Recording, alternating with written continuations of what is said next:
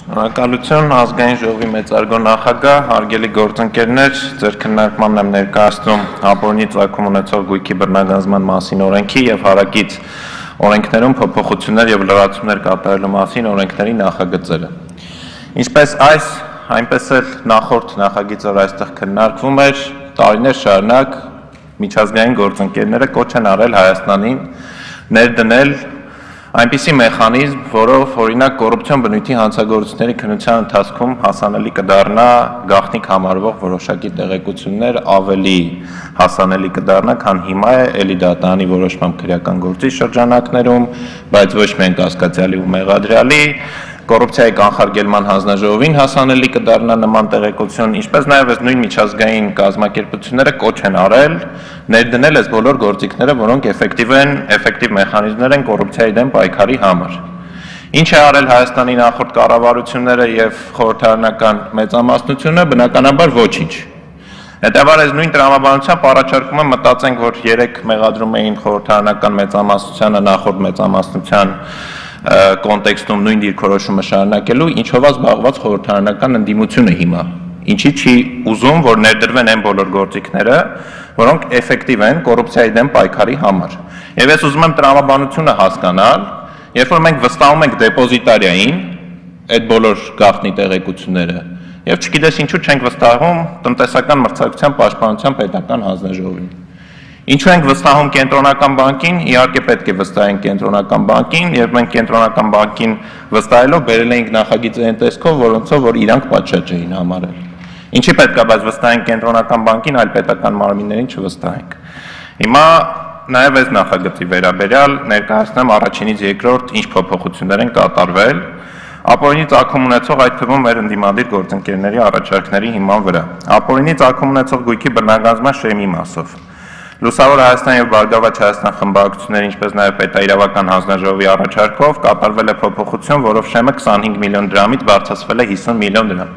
Սա բացառելու համար, որ որևէ կերպ այդ որ խոսում ենք մեր արտագնա աշխատողները վատ բառ ենք օգտագործում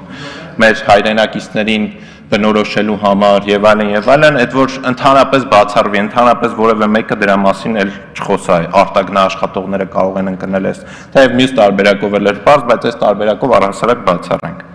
Ապօրինի ցակում ունեցող գույքի ձեռբերող անձանց պաշտպանության մասով Գույքը ձերբերողի բարեխիղճ չլինելու հանգամանքի ապահովման բեռը տեղափոխվել է իրավասու մարմնի վրա, այսինքն ապահովման պարտականությունը ուղիղ գրված է, եթե պետությունը վկայակոչում է, որ X անձը բարեխիղճ ձերբերող չի, դրա ապահովման բեռը կրում է ինքը։ Անձին կում գույքը փոխանցվել է որպես ալիմենտ կյանքին կամ առողջությանը պատճառված վնասի հատուցում,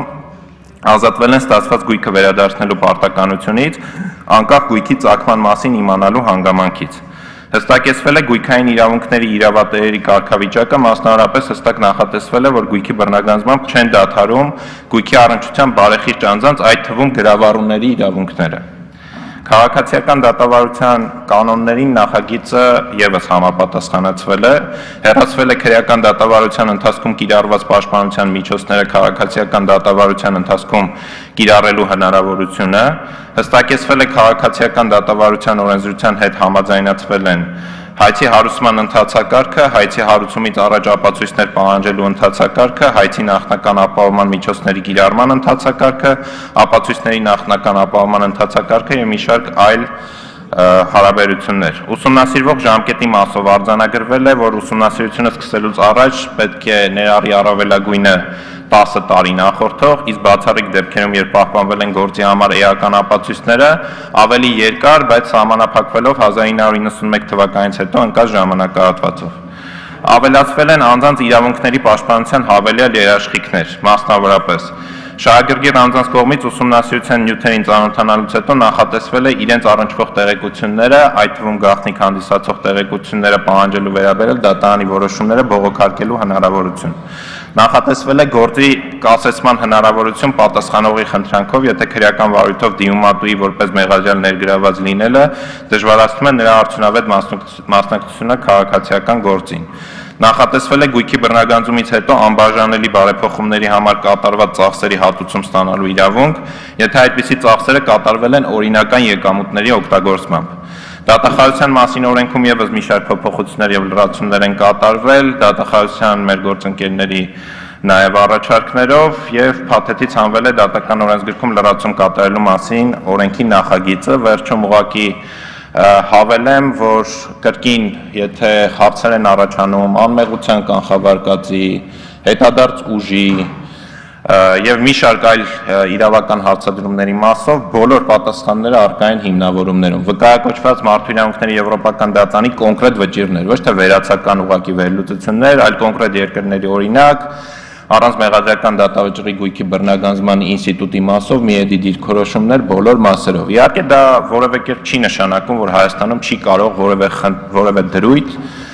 խնդրահարույց համարվել կամ հետագայում պրակտիկայում դառնալ, բայց դա նշանակում է, որ այս ինստիտուտը ներդրելուց լավագույն միջազգային փորձը ուսումնասիրված է եւ այդ լավագույն միջազգային փորձը ասում է, որ իրավական առումով որևէ խնդիր չունենք։ Շնորհակալություն։